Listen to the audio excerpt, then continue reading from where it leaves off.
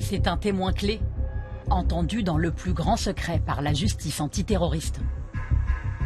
En mars dernier, une djihadiste tout juste rentrée de Syrie fait une révélation fracassante aux magistrats. Ayad Boumedienne, complice présumée des attentats de janvier 2015, celle que l'on croyait morte, serait en vie. Lors de son audition, la revenante, qui jure s'être repentie, dit l'avoir aperçue dans un camp de prisonnières en Syrie en octobre 2019. Elle la reconnaît formellement sur photo.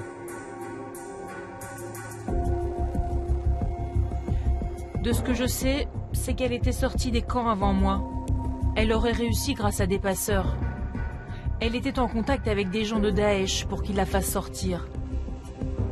Avant d'être capturées, les deux femmes auraient vécu sous le même toit à Raqqa.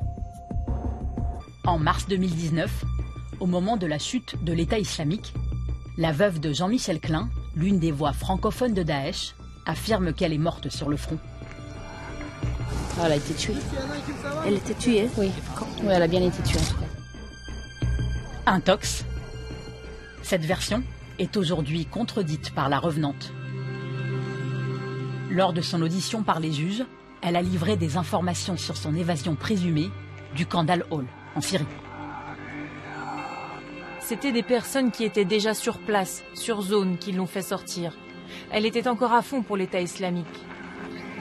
Son projet était de rester sur zone et de retourner dans un autre califat. Il y avait un émir qui avait dit à des femmes sur Internet de préparer des bonnes chaussures de marche pour tenir deux jours de marche, car ils allaient venir. Un récit plausible pour ces deux journalistes indépendantes qui enquêtent depuis plusieurs années sur les femmes djihadistes. Selon elles, des cellules dormantes de Daesh auraient financé l'exfiltration de prisonnières depuis les camps.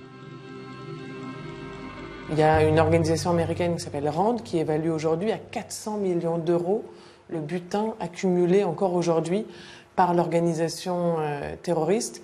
Dans leur idéologie, euh, qui se base quand même sur un fondement euh, religieux, prendre soin de la veuve et de l'orphelin, c'est très important. Et c'est pour ça qu'ils font sortir ces femmes et qu'ils les aident en fait financièrement à sortir, parce qu'elles ne doivent pas rester en détention, encore moins avec des forces kurdes qui sont les pires mécréants pour eux. Et il faut les sortir pour sauver nos sœurs entre guillemets, qui ont été les femmes de nos combattants. Une évasion avec l'aide de passeurs, coûterait entre 9 et 12 000 dollars.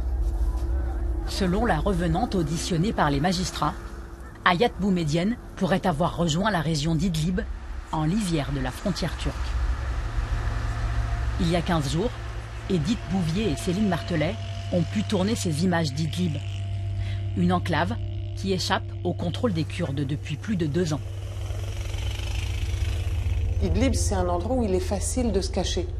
C'est euh, des familles entières qui ont été décimées, c'est des maisons détruites, c'est des endroits où euh, ça fait longtemps qu'on n'a pas eu le temps de faire un recensement et de vérifier qui est où et qui vient d'où. Donc dans cette zone-là, une femme qui sera euh, voilée et les mains gantées passera inaperçue, quelle que soit sa nationalité son origine. Vivante ou morte, la France retrouvera-t-elle un jour Ayat Boumedienne